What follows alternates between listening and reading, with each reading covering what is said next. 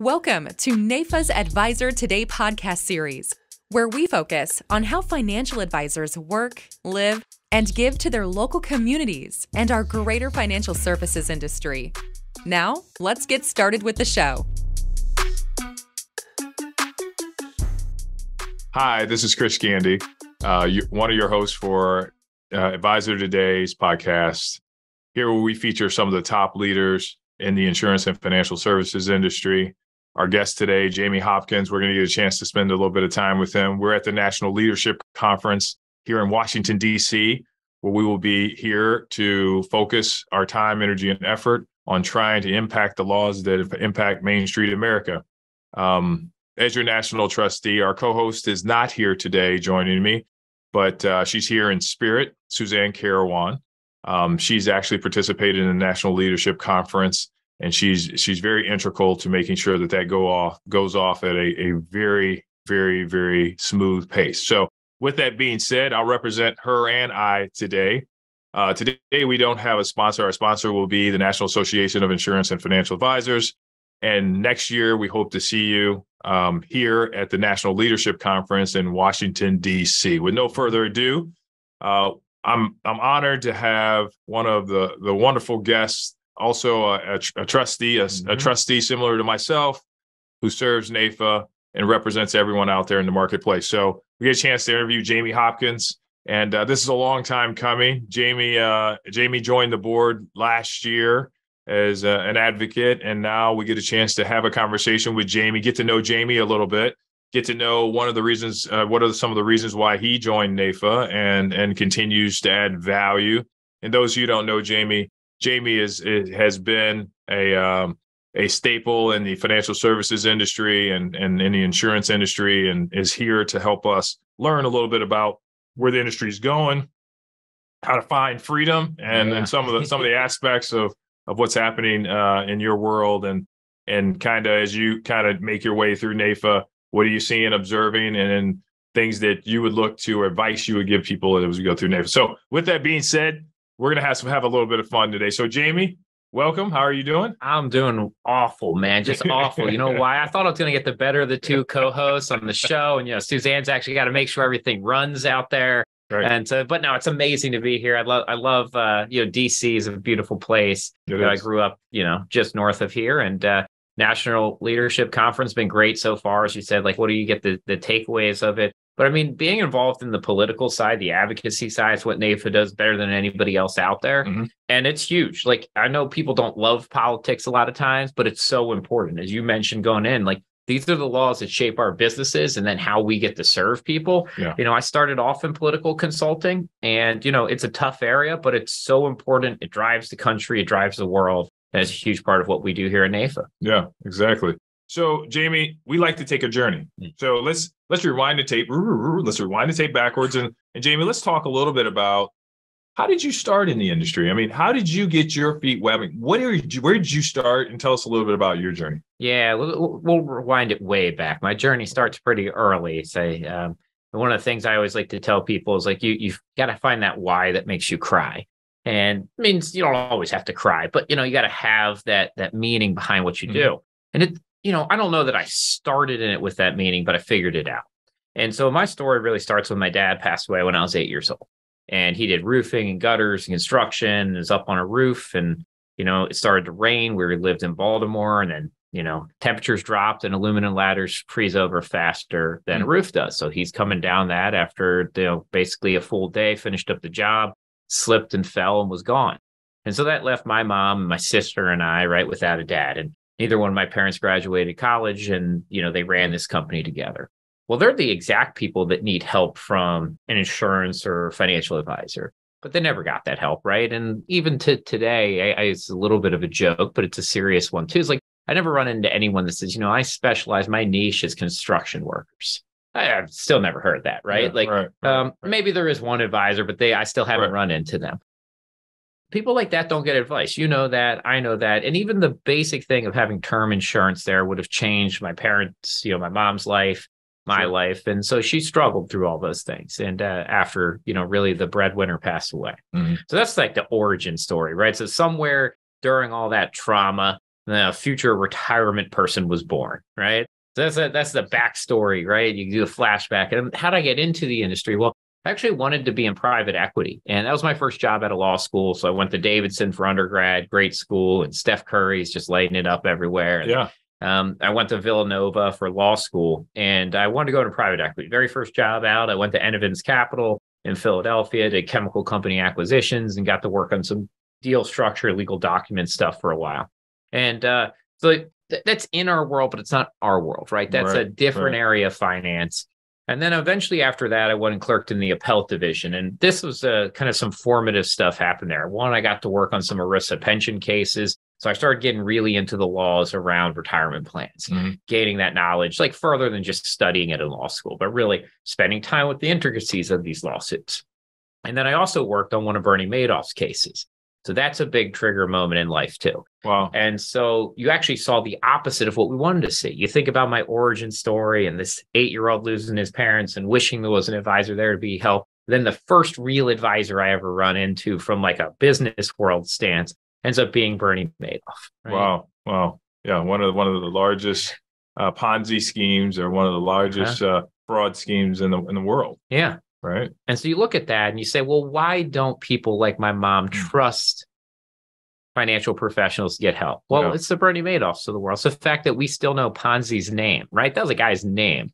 We, Right. we know his name, right? Right, Right. like right. you know, there's a lot of great CLUs and LUTCF. We never we never learned their name, Right. right? And they helped a lot of people. Yeah. And so what you see is our industry is not trusted. And it, it came to this whole thing like, wow, like how did this happen? And this is total abuse of trust. And in this profession, like trust is so key to what we do, though, too. Exactly. When I used to teach life insurance law, I said it's almost a fundamentally different transaction than any other transaction you'll have in your life. Because if you go, you go buy a book, you got a phone, you go to Chick fil A and buy a sandwich, you can walk back in and be like, hey, my sandwich is wrong. Like, give me a new sandwich, right? And Chick fil A would be like, absolutely, sir. Thank you so much. Here's your new sandwich, right? Um, and like the iPhone, same thing. Like, they'll send you a new one if it's broken. But if your life insurance or your plan breaks when you die, you, you can't walk back in there Right. and say, hey, I need a new one. Right. Hey, this didn't go as I Right. thought it was going to go. So we have to trust that both like the companies, the strategies, and the people will actually follow through with it. So I know that's a lot. And then, you know, into my own estate planning firm, I have my own consulting firm. I spent seven years at American College building out the RICP. And then I've been with Carson Group now for a little over four years. I really head up everything on the, the wealth solution side, but um, even though it's not out yet, uh, you know, my job's going to probably continuously evolve. I always tell people I, I don't think I've been in the same role here for nine months at any point. So I'm right get, getting pretty close to another nine month period. So I'll probably be shifting a little bit in the future again. Sure. Sure. So so so Jamie, what an impactful story, right? And and you tell the story of your father, and what it seeded in you was was that you never wanted that to happen to someone else, and and that's a powerful story. And I think if people out there who don't have a powerful story, you can leverage a financial professionals like Jamie's because it can happen to you, it can happen to anyone, it can happen to your clients, and it's our responsibility to serve those people who don't have a voice like your dad coming down the ladder who didn't have a voice to say hey let me do this to protect my family so so that starts you out right Mhm. um any mentors along the way that you say man you know without this person you know i'm not sure why I mean, you know any mentors that you would say kind of have helped you along the way There's probably too many to count. so we want to really rewind it back. I've had a lot of great coaches, right? Like I played a lot of sports too. Um, not not the same level as you. You know, I I couldn't get up off the ground as high, but I you know I hopped on a diving board. I got pretty. You high heard what he that. Yeah.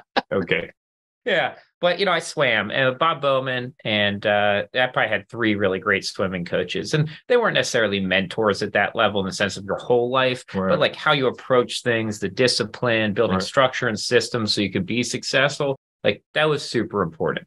Um, probably a couple of my mentors I had after actually. Um, Jim Meehan was a great mentor, 1847 Penn Mutual guy, runs that division. Uh, he was probably the very first person I asked, like, "Hey, will you mentor me?" Sure. Right.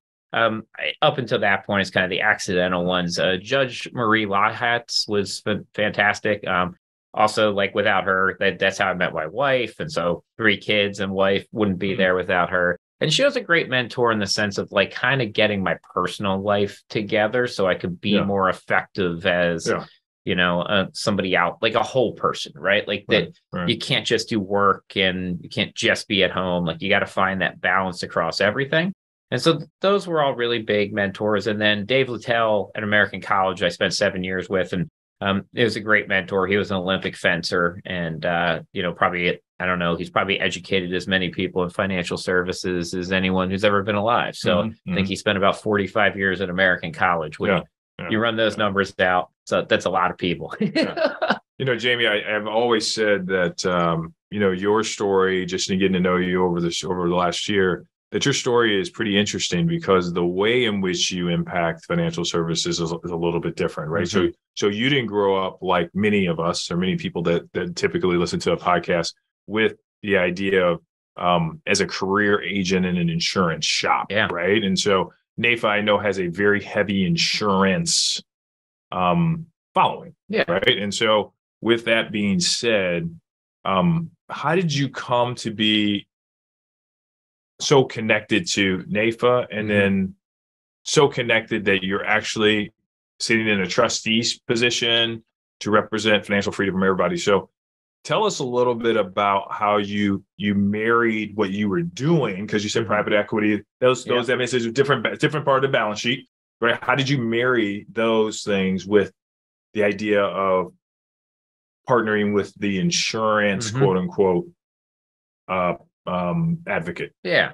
So like none of it's as super clean as you might want it to be, right? It's not like, you know, I woke up one to say and I looked out and I saw the CLU sign, the LUTCF sign. And I said, like, I want to go work with NAIFA, right? Like right right yeah, yeah, I Yeah, didn't that doesn't that. happen. Yeah. Um, but no, what happened was, you know, there was a I'd say, I'd say there was a lot of industry organizations that got along well with American College when I was there. So, you know, I, I think George Nichols is here, CEO and president too. So Yep. strong historical connection. And at the time, actually, NAIFA and American College had a business arrangement too on the education side. So I did actually teach a little bit in that program. I would go out and talk to NAIFA. A lot of the members also have other designations. So I, I kind of learned from the grassroots up. Like literally, it's the advisors and agents that I got to meet with. I'm like, wow, they're doing really important stuff. And then what I realized at some point, you know, my my brief political background was that there's a huge like gaping hole out there on the advocacy side for a lot of the stuff. Like at American College, like, we didn't do any of that, right? We're education, we didn't do that. So I started paying attention more and more to what NAIFA was doing there. I would come down here to some of the Hill meetings, and like I love that. So that's where I started getting involved there. And then part of it, right? We talk about it in the name, like we're, we're NAIFA is supposed to represent, right? Like Main Street all across the country, all these individuals and clients, including the financial advisor clients, not just insurance clients and not just product clients, right but planning clients. Right. And so one of the asks, uh, you know, when the the you know the new president came in was like, hey, let's bring in some of that outside of just insurance.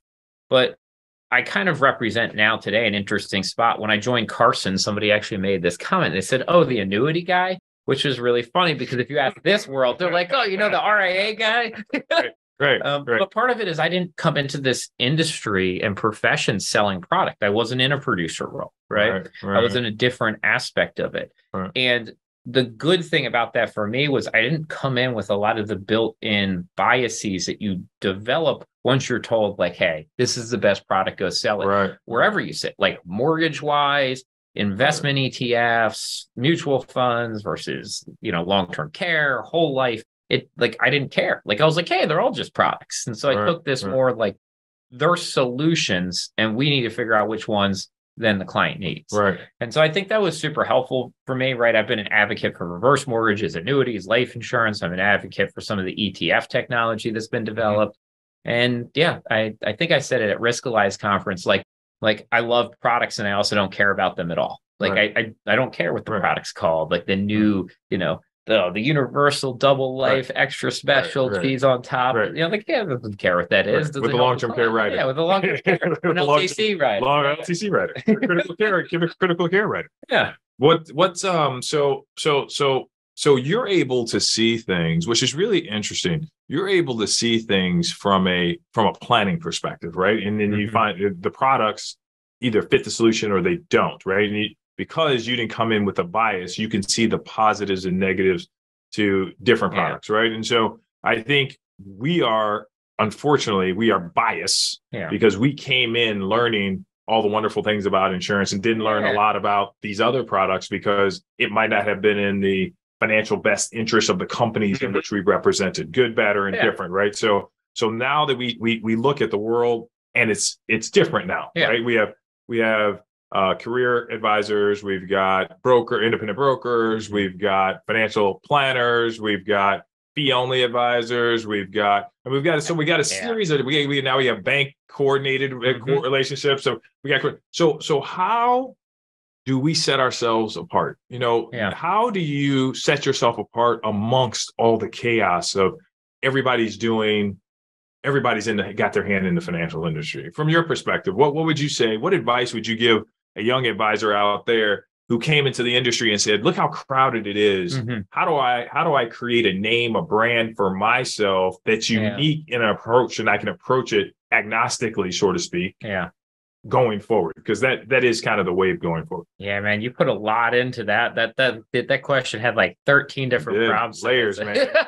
layers to this like, man like onion or a cake. I don't know yet as we start to peel them back. So one of the first ones, like I don't want it to come across like I've got tons of biases. They just weren't product biases, Right, right? Right, Um, right. But lots of them. And you know, I do think though that attorneys make really good. Um, you know, I don't know if I say financial planners maybe is probably the better one, but like they make really good planners because they're they're taught right how to dissect things and challenge things. right And so I think that like me being an attorney coming in was beneficial.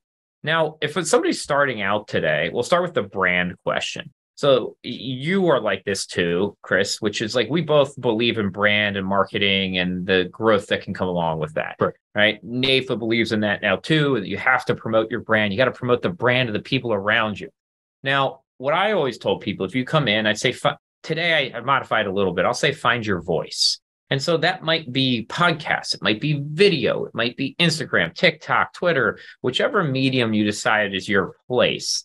Find your voice. I used to tell everybody to write, and I still do, but with more of a hesitation than before. A lot of the medium deliveries are still, you know, be- I think video is very strong today. Mhm. I still think it's important to write down your thoughts because you're usually a much better speaker once you've written down, right, and actually forced yourself to put that into a condensed format. Mhm. Mhm. And, you know, a lot of the best speakers out there, you know, they've written books and then they're just kind of repeating what they've written down, but they've narrowed it in. So I tell everybody to write and find their voice. The next part is you don't have to have it all figured out when you start. Like you didn't have it all figured out. Right, I didn't. right, and it's right. okay to give yourself that permission that, like, look, like you might, if you're running your own firm, you might change pricing 19 times. That's okay. Right. Like you don't have to get it right, the first time. Then the the other part though is like how are you going to grow like this in the world today? And I think that we have to grow in different ways. Like we can't just call our family and friends and ask them to become our clients and sell them insurance or manage their assets. So I don't I don't totally believe in like well I guess I, I go back and forth. I don't know if niche marketing is for everybody and niche planning is for everybody. For some people it works really well. So Right. one strategy is like I want to work with doctors or I want to work with dentists or I want to work with young professionals. And you can pick an area that you can get very narrow and you can deliver. I also think it's totally fine in this world to be like, hey, like I'll generally work with people who need help with planning. It's like a restaurant, right? Like I don't say like I don't even want doctors coming to my restaurant. Like if I Mhm. do really good food, anybody can come eat. Right. If I do really good planning, anybody can come eat. Right. Right. right And so it depends on what you're delivering. Now, if you're delivering executive benefits and that's what you focus on, like, yeah, not everybody's a fit for you. Like my dad wasn't going to be a fit for you, Right. and that's okay. Sure. Um, but I think deciding that is important. And then do you want to serve the life cycle of the client or the client in a single moment in time? right And I'll be honest, not a lot of advisors, when I ask them that, are super clear on the right answer. right right But if you think from a business perspective, like most other businesses try to answer that question. Right. Right. And I think Hmm. a lot of advisors don't answer it. And so you get a little bit murky when you pitch your services to people. right And it makes it harder for people to say yes because they don't know exactly what the relationship is. Right. Right, right, right. So, so, so, so, what I believe I heard you say Yeah. is niches aren't for ever necessarily for everybody. It may be for some people, yes. Yeah.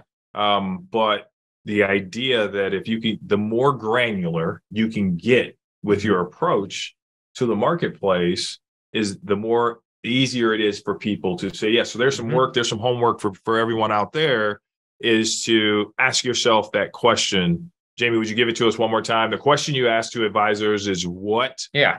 And then they need to spend some time with that, right? Yeah. So the question you ask is like, do you want to serve a client across their whole life? So the life cycle of the client, or do you want to solve a problem at a single point in time? Right. Those are two very different relationships, Absolutely. right? Absolutely. Like if a consultant comes to you, they're usually solving one problem and then they're gone, right? Right. Like that's it. Right. And that's the business model. It is not, hey, every six months you come back to me, right? Hmm. That's a different relationship.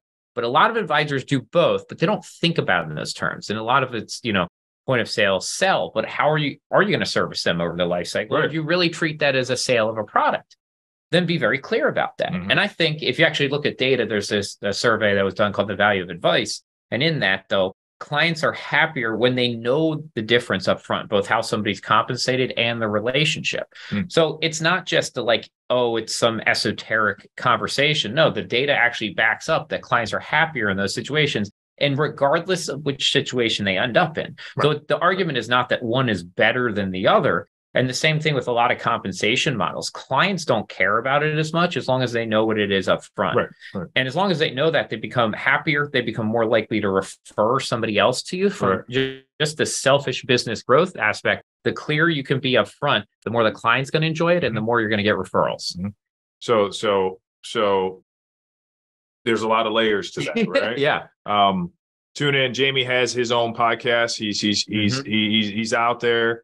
Um, Google Framework. Jamie- framework is the name of it. Um, Google Jamie Hopkins. He's got a ton of good stuff. Um, fellow NAIFA member. Um, we're going to get into kind of you know Jamie's taken a different journey. Um, one of the things he's did, you know he's on his second book, and we want to talk a little bit about that. We've got it here, Finding Your Freedom. Uh, but we want to talk a little bit about his first book that led him to writing his second book. Um, Jamie also was behind the RICP at American College. Yeah. So I asked the question. I said, you know, Jamie, what what what designation should I get next? And he's like, the RICP. And I said, well, why? You know, and tell me why you said that. Uh, so actually, that gets to that granular level, right? Like retirement income is one of the key things that most people are looking for in a financial service professional relationship, right? Right. They eventually want to know that they're going to be okay in retirement. Right. So to me, I always say, like, you know, I wouldn't hire a surgeon to perform surgery on me that didn't go to med school. I wouldn't hire an attorney to represent me in court that didn't go to law school. Right, Would you hire somebody to manage your retirement that didn't study it?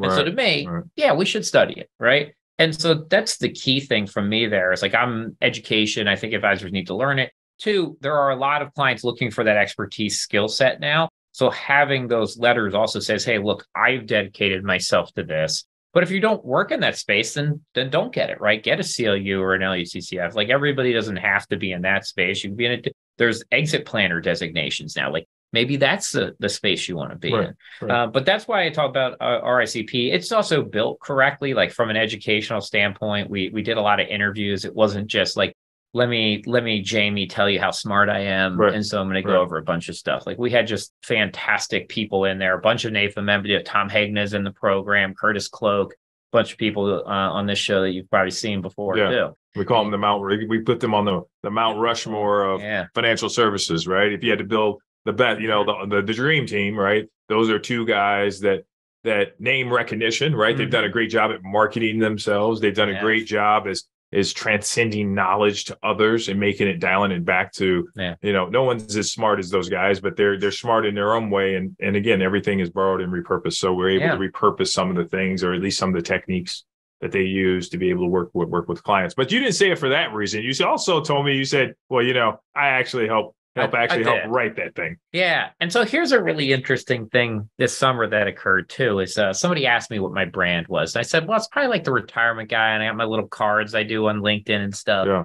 But the funny thing about all of that now is like, that's all kind of like, it's all like the secondary stuff. So when you talk about the program, people think about like, oh, I designed content for it. But yeah, like what we did is we built a program up from scratch. We got a compliance approved. We ran the business case for it. I went and sold that thing to I mean, I probably did 200 days on the road the first year that that thing came out. Wow. I was at every big company out. I mean, you know, the the nationwide, the Thrivents, and Amer- you know, American Funds, like basically anybody who was in this industry, we were out on the road trying to get them to adopt it.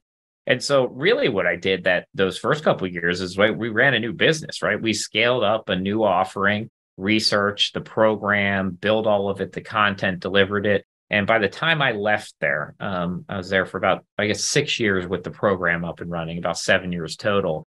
Um, we had put about 18,000 financial service professionals through the RICP in six years, right? That's basically the totality of NAIFA. It'd be every single NAIFA member today Wow. going through a program. Wow. Think about that. Wow, that's pretty Um, impressive. Yeah. So that's it's more than anybody went through any other program like CFP, CLU, LUTCF. Like we just kind of dwarfed all of them in that six year period. And so that was really impressive, right? We scaled up a great program, delivered a lot of value. And that's kind of what I, you know, and then that that led me to Rewirement, which was my first book. And the first book was all about retirement income planning in the process. And then the behavioral hurdles we have to shift from that accumulation phase to decumulation Right. right, from right. savings and risk and you know survivor bias all those things and how they impact our planning and so that was book one and that did that did better than i thought it was like i went into that saying I'll, I probably won't sell a single one of these right like none but i'm going to hand them out at conferences when i go and talk and like people will get my book well i got a bunch of bulk orders through that one and it turned out like i probably I probably did like make a hundred bucks eventually, right? Like, you know, No, I think I sold about 20,000 copies of Rewirement. So it's a, in the book world, it's actually pretty good. Nice. Now, And it's um, called Rewirement. You can get it on Amazon. Yeah. It's out there. Um, Yeah. And I told Jamie if he was coming on our podcast, if you send it to him, he has to at least sign it. I will sign it. Yeah. No, I still have a couple. Sometimes people ping. So this is funny. Like, I, I guess this probably happens to every author, but I'll get random people that'll just ping me and be like, "Hey, can you send me a copy of your book?" Right. And I'm like, you know, like it does cost me something. Like it's like ten bucks to print it and six to ship it out to you. That's all. So I, I, I probably sent two hundred out just from people asking. Um, yeah, and then I wrote the new book here, which you can pre-order now or order for November 22nd, Find Your Freedom. And one of my big goals, get it on New York Times bestseller list. Sure. So help help help me out. That's why Chris helped me out too. Right. But uh yeah, so I wrote that one. It went better than I thought. I wrote this one uh, this past year, uh, published with Harriman House and coming out. I, I wrote three textbooks in my life too, and two ebooks for Forbes. But this is probably the first one I'd say like I really put my story into. Um, the other ones like you don't put your story into a Right, textbook. Like right, nobody wants right. to hear about like when I talked about my dad or my my sister being sick or any of those things. So this is really the first time I've kind of put my story into a planning book. Mhm. I would also say there aren't very many planning books out there. I asked this question before I wrote it last year, and this is where it came from, which was I said, Hey, like, what's your best, what's your favorite financial service book? And all the answers were the Rich Dad, Poor Dad, How do I invest my money? Right. Right. Millionaire Next Door. They're all investment Right, books, right, right? Like, they're not planning books. And so I kind of set out to hopefully write the best planning book that's ever been written today. And then Hmm. somebody else will write a better one than me. And then somebody's going to write a better one than that. And then this will be the worst planning book ever written in like 10 years, but it'll be the first best one. Right. Right. Right. well, they, they say that someone has to has to be first. Yeah. So if someone has to be first, we're gonna hope it's a NAIFA member like Jamie Hopkins. So so get Jamie's book, find finding your find your freedom. It'll be out. Let's make him. Uh, if you can see it, w- let's make him the um uh you know a world a, wor- a world renowned author, and let's Yeah. let's get him on the New York Times bestseller. Jamie, how many how many books does our audience need to order to get, make that happen?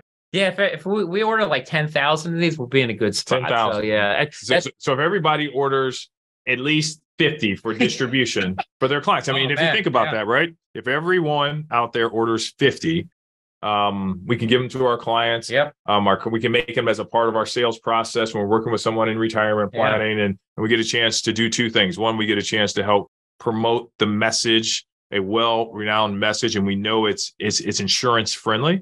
So we Mhm. get a chance to actually promote that, and we get a chance to give our clients something that we can actually teach them through, Yep. right? So so so we give them an actual playbook, Yeah. to kind of to, to try to try and a story and a story behind Yeah. it. So I'll give you two really cool things about this too. The way that we wrote the book with um, with Harriman House, which is why we ended up landing on them, is the advisors um, that we have at Carson actually will be able to write the forward to it. So they'll actually be able to hand this out to their clients with forward by Chris Gandy and hand it out to their clients. And Very I think that's going to be super cool. Um, but that's not available yet for our partners. We want to get it on New York Times first, and then it'll be New York Times book, and you can hand it out.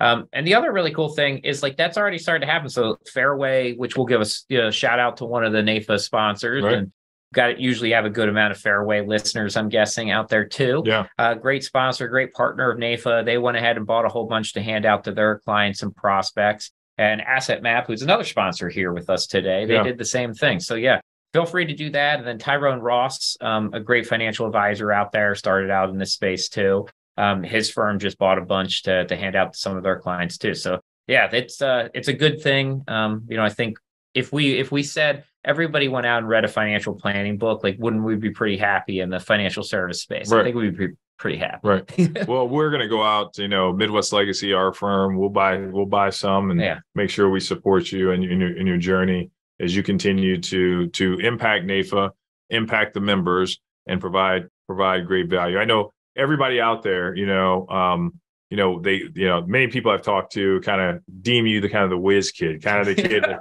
you know, because Jamie, Jamie's Jamie, Jamie is Oh. is from a from an experience perspective, you would think he's sixty, right? But but Jamie, how old are you? Uh, I, I feel like 60 now. We we did a run yesterday and it hurt, man. You Yeah. know, it's uh Yeah. yeah, so I'm 37 now, but I I graduated college when I was 21. So I've got, you know, I now have 16, what, that's 16 years. 16 yeah, years. so it's it, that's the, the other funny thing. We go to like the young uh, you know, advisor stuff now, and I'm a decade older than the next Right. oldest Right. person there, which is great to see. You're, you're the old man. Yeah, I feel old now. So, so You're the old man.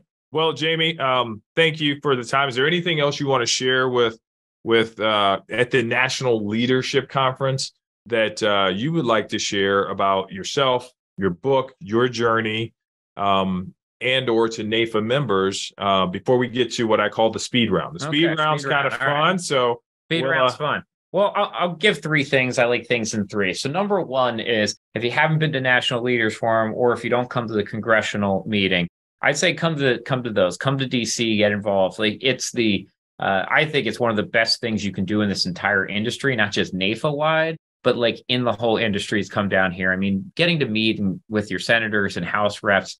Uh, that adds credibility to your clients and like define the world that you want to live in. Don't let it define you. So I think that's one um the the energy here is always nice right like that think that's another part too i i love the the the talk about the huddle and you know taking care of your team Right, like that was right. a beautiful thing right Yeah. like are you taking care of your team so i think that's a big message a lot of people are burnout right now so when you look around your team you know you have a lot of leaders on this are you taking care of your team today right, and you need to do something different to make sure that they're okay. Uh, and then the last part is, you know, I'd also, you know, that we have that the name of the book, Find Your Freedom, but start asking people that question, like, what does freedom mean to you? Um, like I, that's Leonard was talking about it when he was uh, uh, up on stage here. That he's like, I was talking to Jamie, and I kept pushing on him last night. It's like, well, what does freedom mean to you? What's freedom? right. You know, we had a really cool conversation about that. So I'd love to hear your answer on that. Right? Like I'm the guest, but I run my own show too, so I can ask. Yeah, that's kind of questions, cool, right? right? Yeah. What does freedom mean to you, Chris? So, um, you know, without having some some deep thought and really putting together words that mean something to me, um, I would simply say it's the ability to choose. yeah. For me, it's the ability to choose and transcend my previous thoughts. So, Okay. so, so the ability to choose for me gives me the opportunity to change things Yeah. and the ability to to know that my last thought isn't as good as my next thought i think allows for me to start to really think like this Yeah. versus think linear right and so um, i joke all the time because my staff is always like okay we're good where we are. That said if we're good where we are we've only just began to scratch the surface of Mhm. our oppor- of our opportunity and what we're capable of. Yeah. you know um, the word that i've always heard in sports and i'll relate it to to financial services as a sport is potential. Hmm you hear someone's not living up to their potential.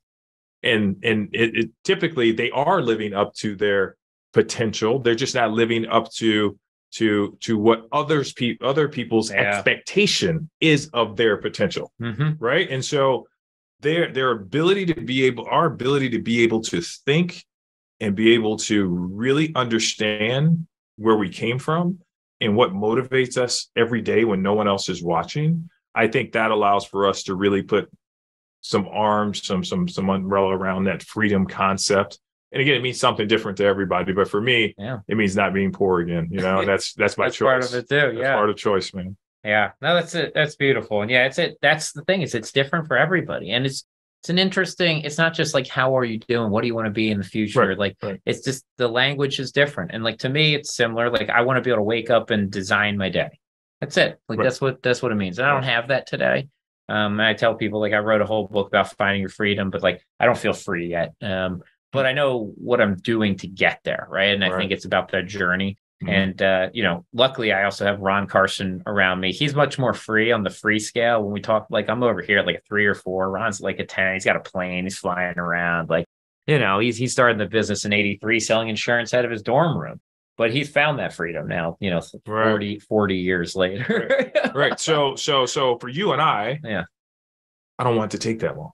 You know, I, I, I don't I don't want to I don't want to take that. I mean, seriously, Yeah. like so so so the people that are listening to this podcast, the whole idea is that we want to be able to move to mediums and be able to understand that we don't have to, you know, time is nothing more than an element Mhm. of experience, right? And so we we we think based on the way we were raised that time is the the integral part of success. Yeah. But if we look up the definition of success, time is not in there, No. right? It's not in the definition at Uh-uh. all.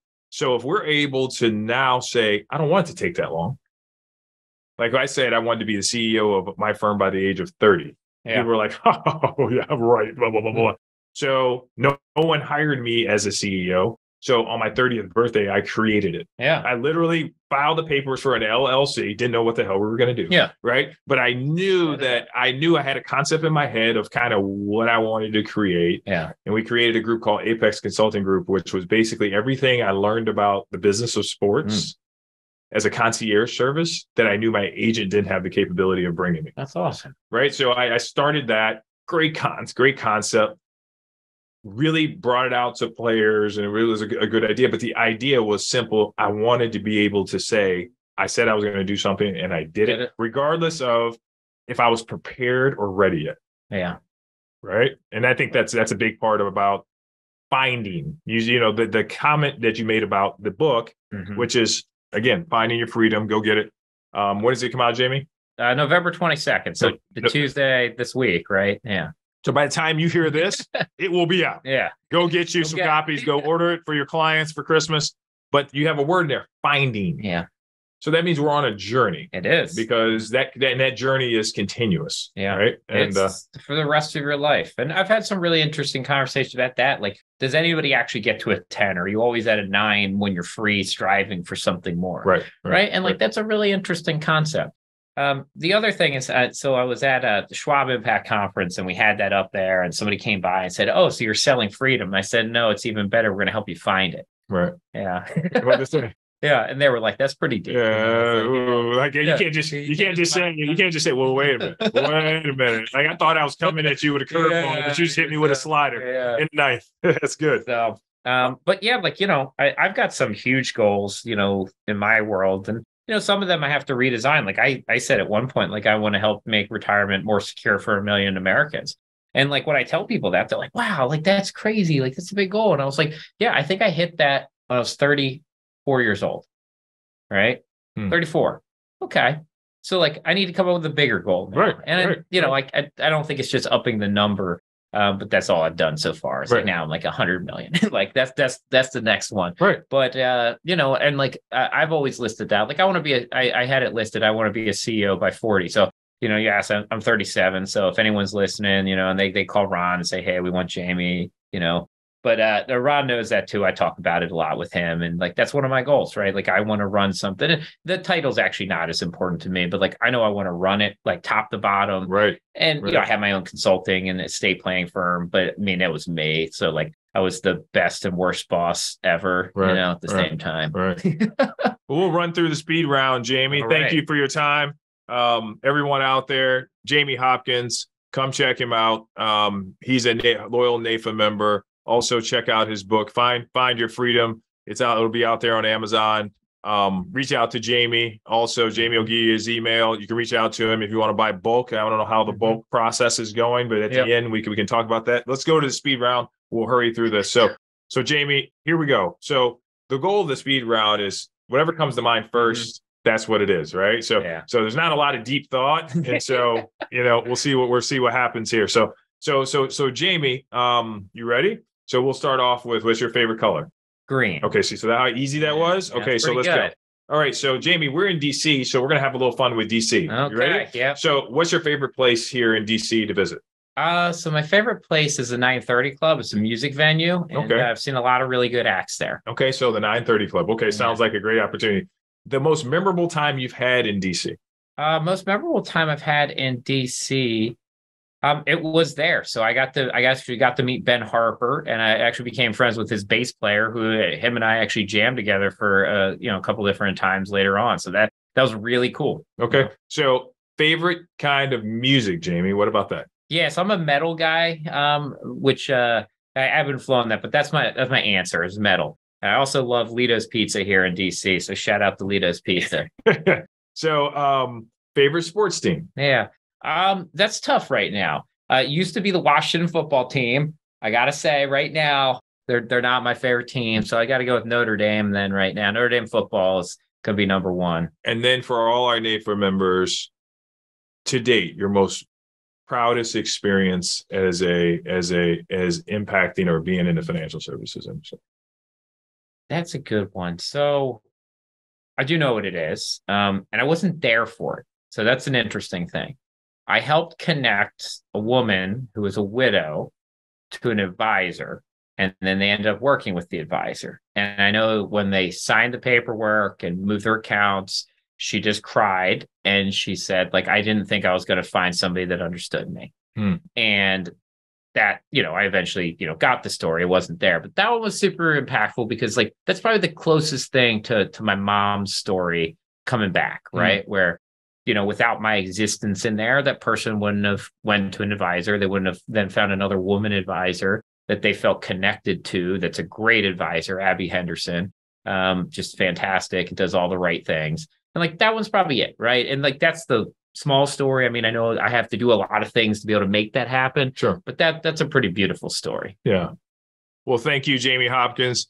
Um, let's go out and support our NAIFA, our NAIFA trustee, Jamie Hopkins, on uh, finding your freedom. His book is out. His first book was Rewirement, but that's okay. Then we don't we're gonna order two books. Come on, but rewirement's out there. Rewirement's out. It's been out a little bit of time. If you haven't read the first one, doesn't mean you can't read the second one. You can read the second one first if you choose to. Yeah. Listen, let's go out and support Jamie. Thanks, Jamie, for being here at the National Leadership Conference where you lead by example, you lead by inspiration. And we're so proud to have you as a member. Thank all of you for tuning in to Advisor Today's podcast, where we support each other, uplift each other for the education and empowerment for the future of what the industry looks like. And we represent the voice of those in Main Street today. So thank you so much. We appreciate it.